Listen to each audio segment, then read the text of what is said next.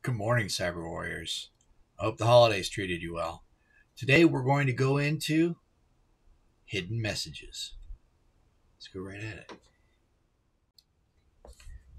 I want you to take a look at these two images.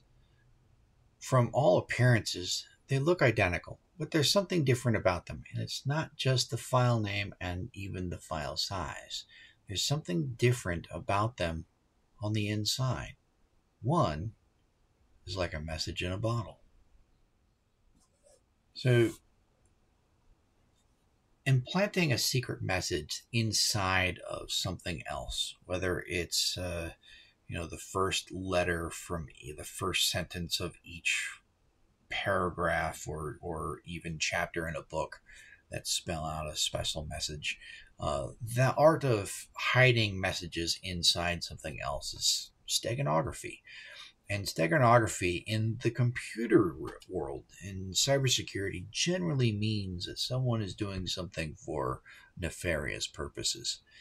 So, by that I mean what would used to be a thing is that uh, browsers would automatically execute any code that was embedded inside an image. You could even put an entire program inside a picture. Uh, and when your browser is looking at that picture, it used to just run the program.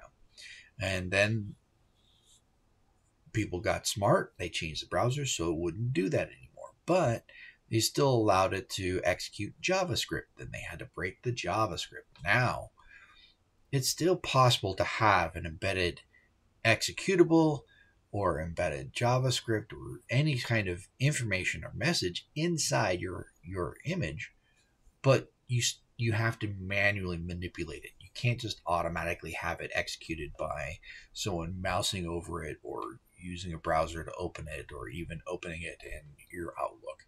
Uh, it just doesn't detonate the way that it used to, but it still can be detonated.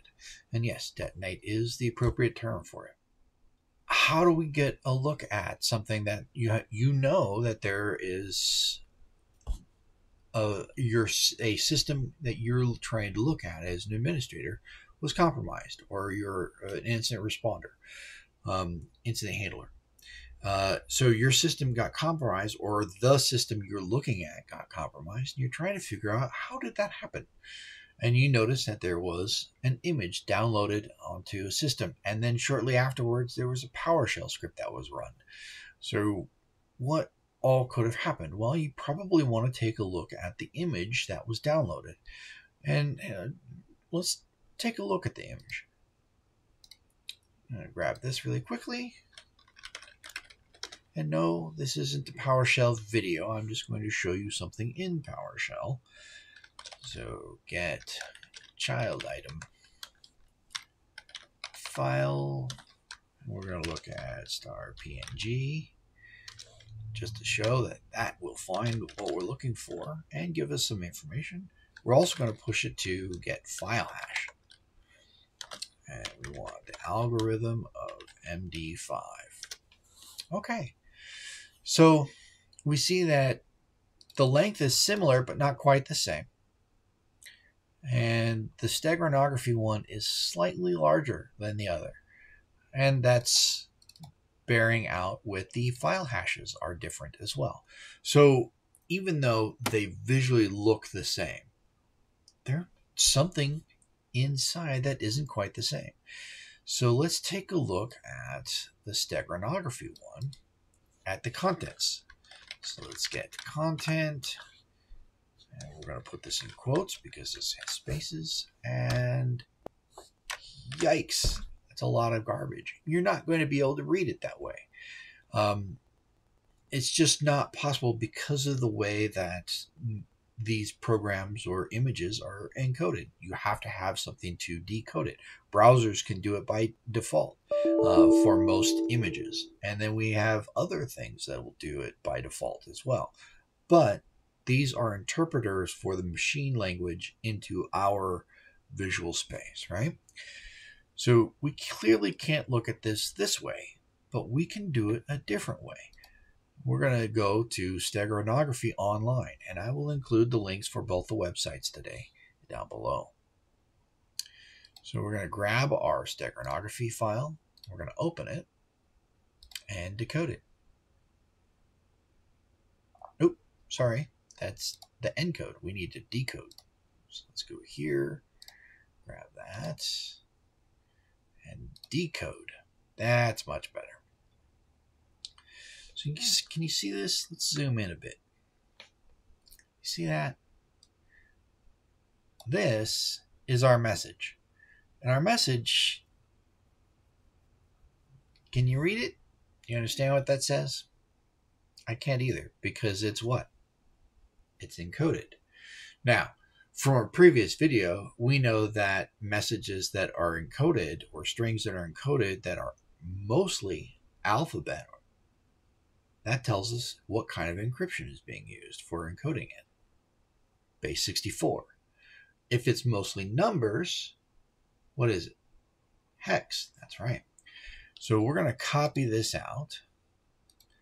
And I want to talk about these. These are null operators or no ops. Um, and what they're doing is they're just padding the file to make it a little bit larger and change the size of it and the shape of it. And it's also an early obfuscation technique that would make it so that you couldn't hash something, upload it to VirusTotal, and know that it was malicious. Or it would change it so that a virus or a malicious executable were not automatically detected by most antivirus and anti malware. It's less effective today because we have heuristics that deal with all of those things, and we'll talk about heuristics in another video. But anyway, so we know it's encoded, so we have to go to our base64decode.org, and again, the link will be below. And we'll paste the message in there. We tell it to decode, and there is our message. Greetings, Starfighter. You have been recruited by the Star League to defend the frontier against Xur and the Ko-Dan Armada. Heady stuff. And if your name is Alex Rogan, be careful. If you understand the reference, comment down below and let me know. But anyway, that's it. It's really simple. We had a hidden message, we found the hidden message, and we even decoded it.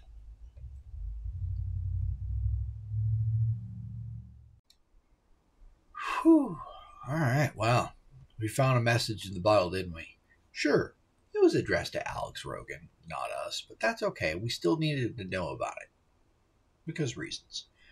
More importantly, is we needed to know how to find and decode the steganography. So, as for always, Cyber Warriors, I hope you learned something. Happy hunting, and I'll see you in the next video.